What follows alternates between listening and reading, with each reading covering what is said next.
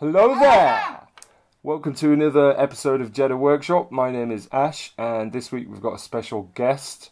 This is Logan. Logan, my nephew. And um, in how old are you, Logan? At six.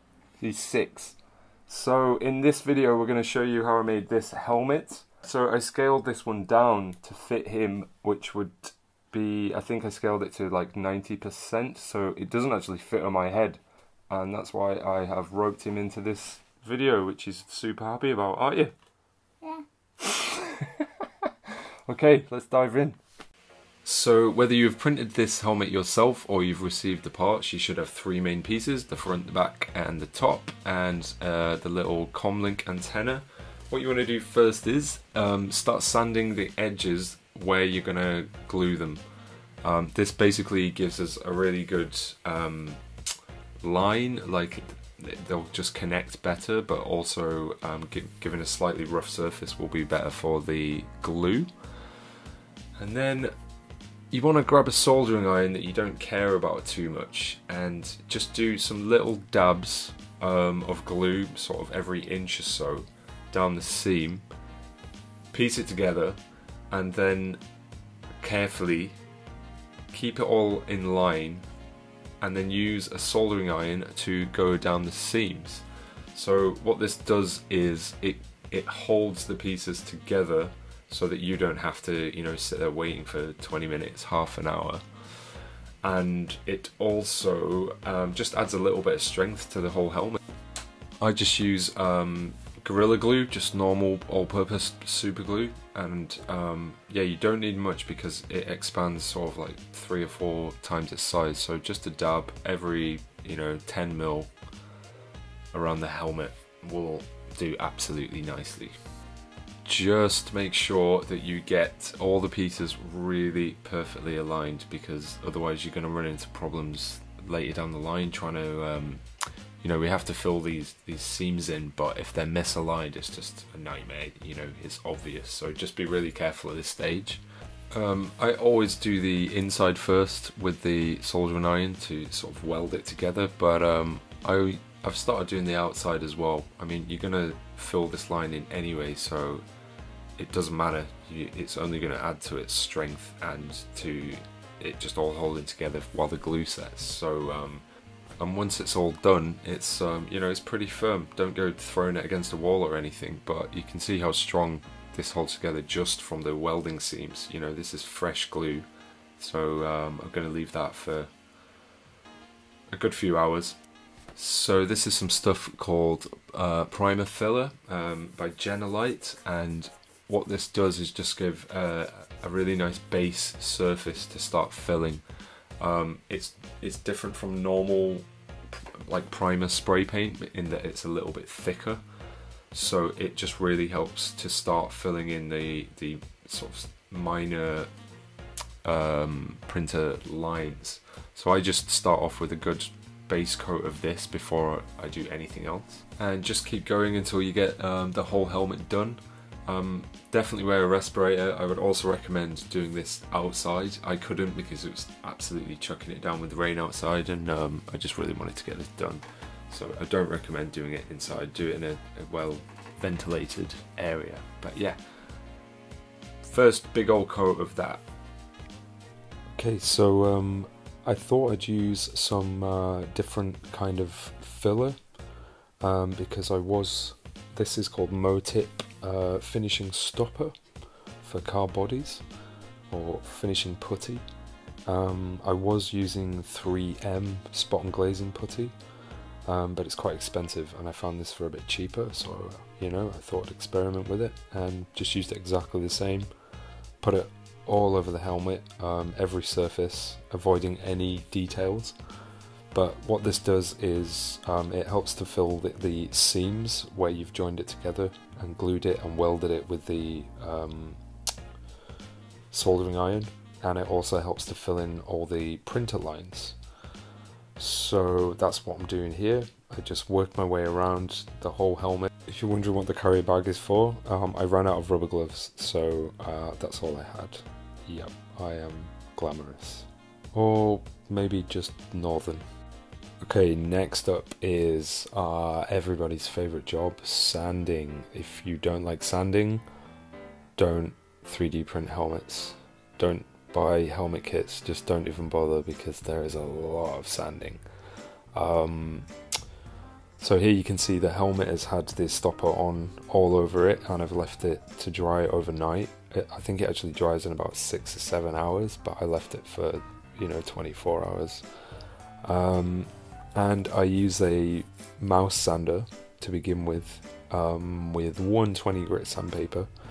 And this is just to get all the, the high bits, the sort of knobbly bits, and just to save my arms basically because you got to go over the whole surface by hand um, just to get into all the areas. So it's nice to just, you know, help yourself out a bit. But it's still going to take a while, so stick some headphones on, listen to a podcast, listen to some music, whatever you enjoy doing.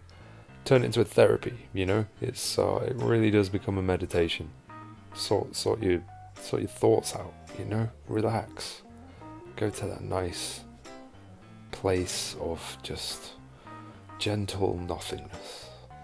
So once I'm done with the uh, mouse sander, I then just tear off a little scrap piece of, again, same 120 grit sandpaper. I don't go down in grit, not at this stage. Um, there's lots to do um, first.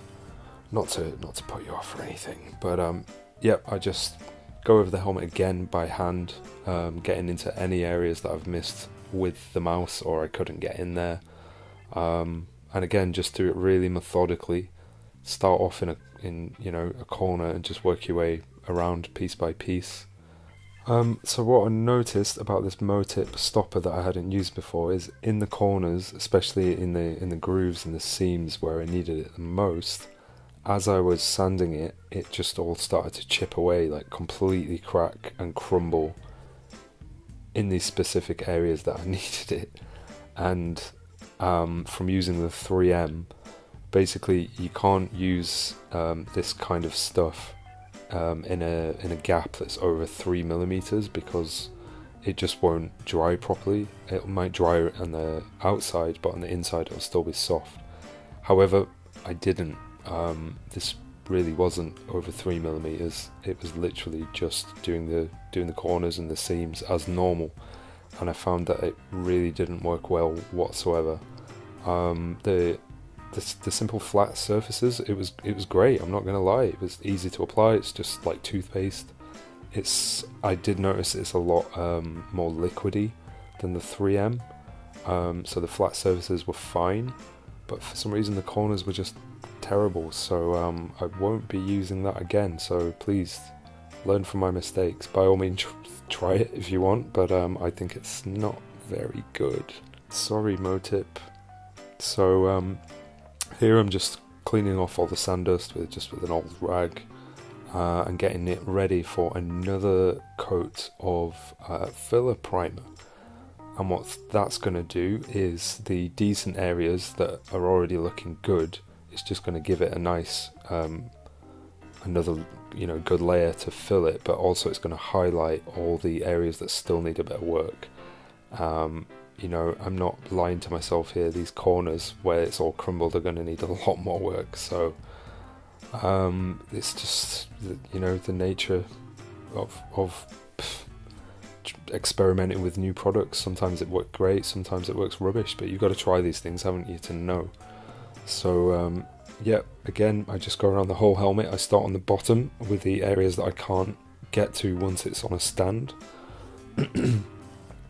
Um, I'm using like a car jack here. Yeah, so I'm getting all the underside areas and the sort of side areas that um, you, can't get to just spraying on flat. Then uh, I'll stick it on the stand and just go over it. Um, again, just use it like spray paint. Do it at a distance, um, and don't don't overdo it in areas. You can just do it in in you know light strokes. Um, and then leave it to dry for 20 minutes and come back to it. So as you, as you can see with another with a layer of filler primer, um, the stopper and then another layer of filler primer, it's actually looking pretty good, but you can still see just the little scratches and imperfections.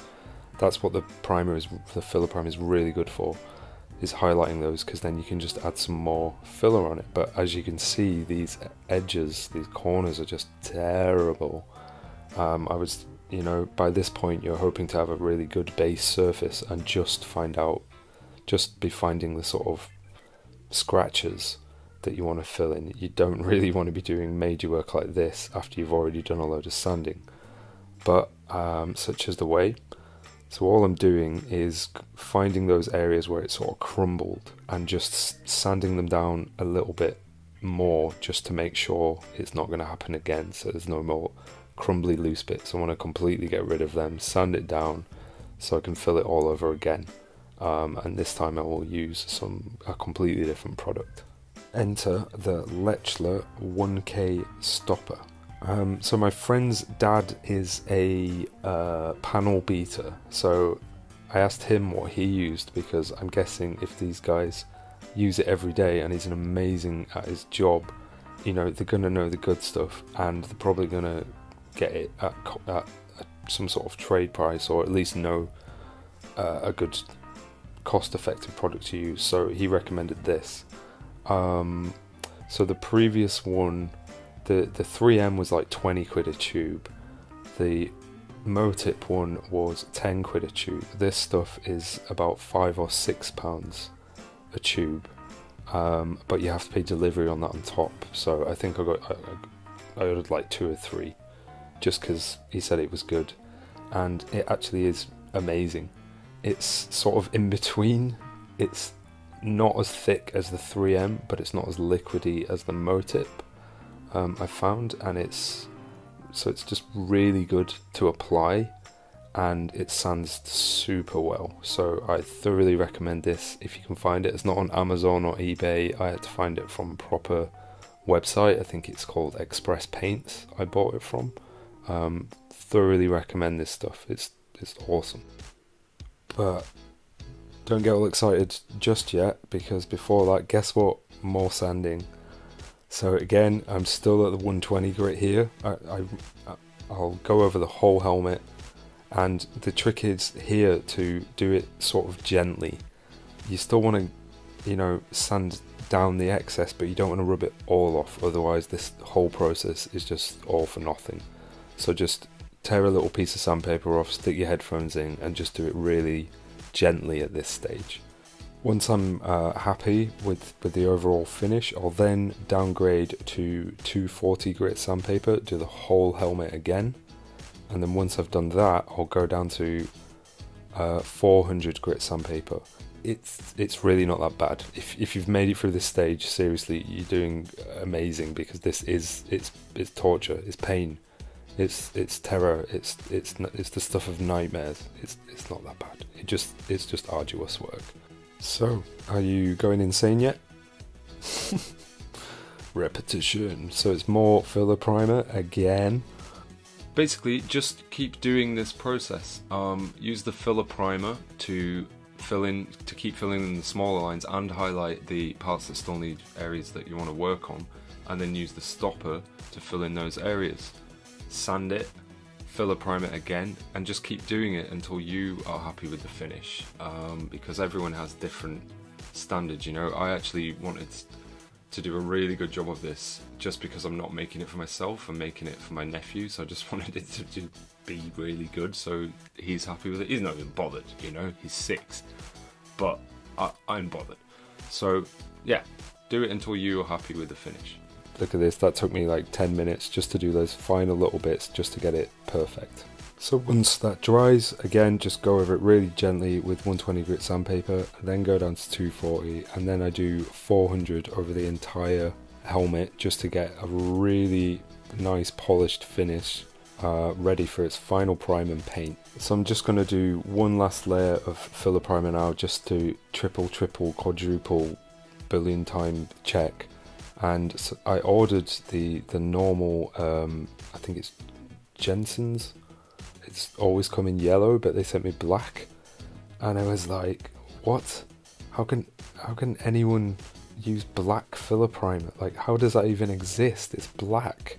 Um, so I'm really just kind of confused and using it anyway, but it's exactly the same process. And actually, it turned out to be so much better than the yellow. It actually it it goes on jet black, but it dries sort of a, a, a medium dark grey, and it's actually amazing for spotting any imperfections. I also feel like it's a lot thicker than the normal yellow filler primer. Um, and on the helmet builds that I've done since, I've only used this instead of the yellow, and um, it takes me a lot less to use it because it's thicker. So um, it's actually cheaper. You know, it's more co- cost effective, and uh, I love it.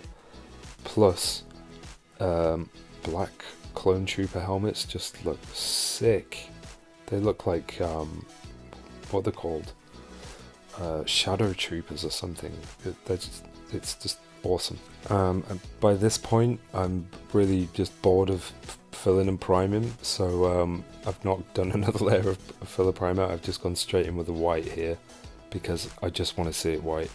Um, nobody is this much of a perfectionist other than me. You could see from the previous clip I went ahead and did even more filling um, because I'm a psychopath. But anyway, look, it's white. It's starting to look like a clone trooper. Yay! Again, just do it in really light coats. Don't go um, wild here because if you do it too thick and it starts running, you're gonna have to wait for it to dry and sand it all over again and repaint it again, you know, and wait 24 hours in between each time. It's just not worth it. Trust me, I've made the mistake so many times. I just do it really lightly. I walk away for 20 minutes, half an hour, come back, do it again, leave it another half an hour, come back, do it again. Um, and paint is much harder to sand off than you know sandable filler because it's paint. It wants to be on there, so just just take your time. There's no rush. So a friend recommended me recommended me, um, who's an amazing builder, um, some spray paint called Plasti-kote matte white, and honestly, it's awesome. It's it's like spraying chalk. It's a bit kind of feathery, like it goes all over the place. It's not the best can, but the paint itself is wicked. As long as you do it in light coats, it's a really good finish and it's a really good color white, particularly for you know Kamino clones. Um, if you want a shiny, use gloss, you know, white gloss paint like straight out, straight fresh out of Kamino. Um, but if you're going to sort of weather it up a bit, I would recommend using matte white, and this paint is really good. It's pretty cheap on Amazon. Okay, so next up is the exciting part. You start to do the details. Um, so I've masked it up here using uh, frog tape, um, delicate surface frog tape, because I learnt my lesson last time and I've just masked it off for the grey areas so that's the band around the top back of the helmet and the nose grill. And I just use good old normal um, primer grey paint you know? Um, I think it's a Motip grey primer and it's it's pretty wicked. However I didn't prep the surface before I just sprayed straight onto the white um, because I'm an amateur um, always just sand it a little bit, even if it's just lightly, because I don't think I have a close up here, but it starts to sort of crack um, once it dries, and then you just have to sand it and repaint it anyway. So just, just, just do it. Trust me. And once that's dry, you know, wait at least 24 hours, and then I'm, I masked that off for the black band. Um, but yeah, masked everything off, just leaving the band and I just used a normal black satin paint. I can't remember the brand here, but it's it's pretty good. You know, it's black. Alrighty, so there it is, looking looking beautiful. So once you've got your basic colours, your white, grey, and your black, it's time for some weathering. For that, you're gonna need some black acrylic paint, some water, some kind of sponge brush, and some toilet, sorry, kitchen roll. Squirt a little bit of your acrylic black paint on onto your palette and uh, water it down. I really recommend using more water than less. I know it's like tempting to just get it on there. Um, or if you're wondering what the hell I'm doing and it looks crazy, I'm using the dry brush method. So you slap some really watery paint onto your helmet and then you um, wipe it straight off and what it does it gets into all the little crevices where sort of mud and dirt and dust would just naturally accumulate so you just tend to paint in those areas um, but you want to brush it off straight away. Um, and I just recommend using more water than less because you can always put more on. So yeah, just build it up from there. Take your time. If you get any runs because you, you know, it is quite watery, um, just dry those off straight away because you, they'll just dry like streaky, and you don't want that. It'll look bad. Also, when you are wiping off with the paper towel, um, try to do it sort of randomly. Don't do it with any grain or lines because you'll see streaks. You can sort of wet it down a bit afterwards and go over it again, but um, it's best to just do it as and when because it's it's surprising how effective this method works. Leave that to dry. It doesn't take long. It's just acrylic paint, and then um, what I'm doing here is just going over it with some matte uh, lacquer. This is just by Hycote. Um, again, if you're doing a shiny, use gloss lacquer and get the, get a really nice shine on it. Um, but if you're weathering it, I would recommend using matte gloss. Um, and it's exactly the same as spray spray paint. Just do it in in um, gradual layers because again you don't want it to run and streak and obviously it's harder to see some, something which is see-through. But um, yeah just just reserved control yourself and it'll look absolutely wicked but this will just help to protect that amazing paint job you've just done. So now it's time to do the uh, nose grill wire mesh and um, don't ask me where I got this from. I, th I think it's like Windows screen you know like fly screen that but it's kind of grey silver and it should be black so here here I am just like trying to paint it black. I get there in the end um, and it's wicked because it dries in about five seconds for some reason. And um, all I do is then double it over and I just use hot glue to keep it in place. And don't forget the all important uh, comlink antenna here. I just used normal super glue here Gorilla Glue I think I did do a little bit of filler primer on there just to fill in the printer lines and then sprayed it black. Dead easy, it takes five seconds. Um, so I wanted to make this a little bit more comfortable. Um, my nephew is a little bit precious. I wanted to make it super comfortable for him, so I just cut up some black felt and uh, put it in with a heat gun. So next up is on the uh, visor, definitely due a, a, a brew break there. So this is my first time using a um, sort of welding or grinder shield that I got off Amazon. It took me ages to find it. Um, they're meant to be really good. So all I'm doing is just I use a piece of paper to very roughly draw around the visor shape, then cut that out, lay it over the grinding shield, and cut that out, um, leaving about you know a centimeter, two centimeter um, space all the way around the edge so that I can then sort of sand it and glue it into place. Um, this stuff is wicked because it's really easy to cut. Um, anything I've used before is just sort of shattered or I've, it's been so thick I've had to use a heat gun to bend it into into shape. Um, this stuff is really good and this was about a tenner and um, if you do it right you can get at least three like helmet visors out of it so that's you know three pound thirty three um, for a wicked visor. And um, to hold it into place, um, so I've just sanded the edges here to give uh, a good surface for bonding. And I'm using this stuff called uh, plastic weld. Um, I'm using it in a bag because again, I just still don't have rubber gloves, um, and you're not really meant to use your fingers like skin. But I mean, I think I did because you know I'm from Yorkshire, and uh, were hard and stupid. Um, skins made of asbestos. But yeah, I used a mixture of sort of um, heat glue, heat glue to keep it in place, and then the plastic weld because it's basically a two-part um, material. It's kind of the consistency of Blu Tack. You rub the pieces together just like plasticine and stick it on, and then it dries rock hard. But you sort of do have to keep the visor in place because it it's obviously not curved, it wants to sort of spring up. Um, so it did take a bit of experimentation here. Um, but I still think these, these visors are wicked because they're just the most realistic. Um, I still do have skin on my fingers, by the way. I still have fingers. I still have hands. They didn't drop off. but yeah, don't don't follow my lead.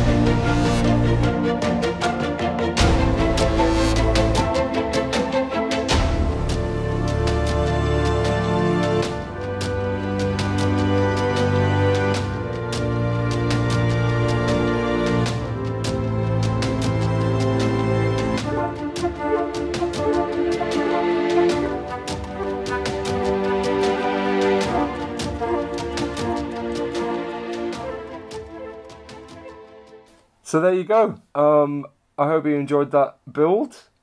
Thank you very much for watching. If you um, want the 3D printed parts to build this helmet yourself, they're available on my website. Or if you are a 3D printer yourself, you can also get the files there and just do it completely from scratch. Um, I've been Ash. This has been Logan. Thank you very much. And please subscribe. And please subscribe. Uh, see you later. Bye. Bye. Bye. Bye. Bye. Sitting in this video, which is really happy about, aren't you? Yeah. Not even it. So if Bye. you're not allowed to show your face, And we're gonna have to do it again. oh man, I don't want to do it again. Doesn't sound so bad to me. Can't breathe.